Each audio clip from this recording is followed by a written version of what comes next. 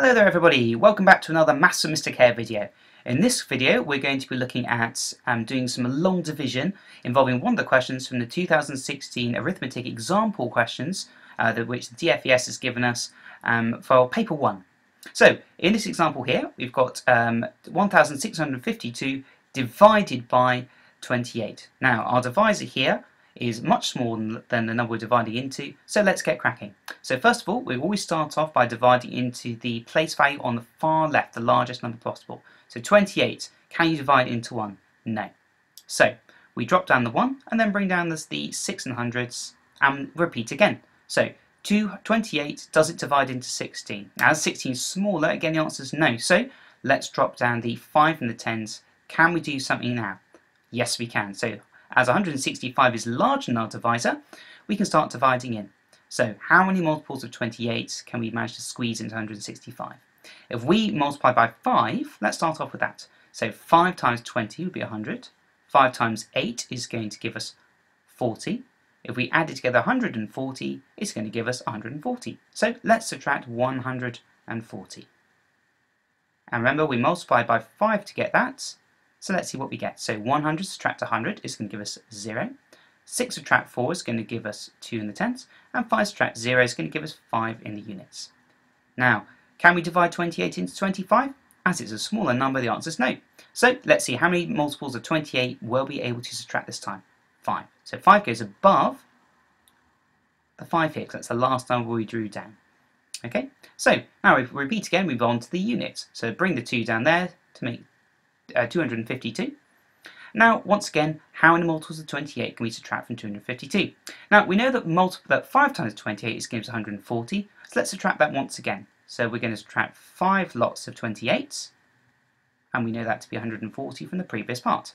So let's subtract that.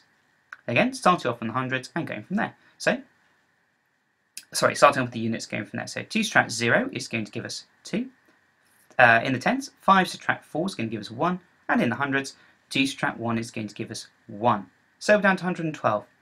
Is our divisor larger or smaller than the number we're trying to divide into? Now, once again, it's larger, so we can keep on subtracting.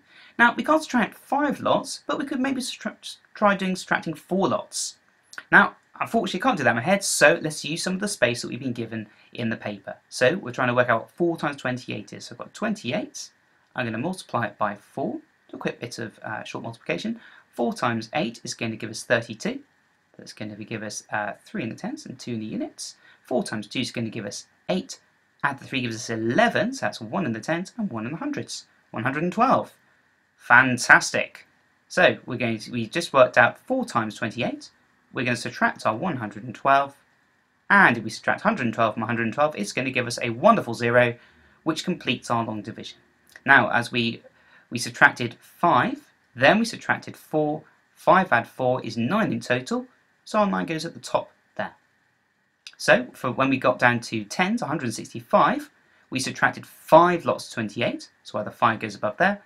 And for the next section, we subtracted 5 lots of 28, then a further 4. So we subtracted 5 lots and then 4 lots. 5 add 4 is 9. So altogether we subtracted 9 uh, multiples of 28 from the final number, giving us a final answer of 59. So the examiners will be looking for a correct answer in the box there.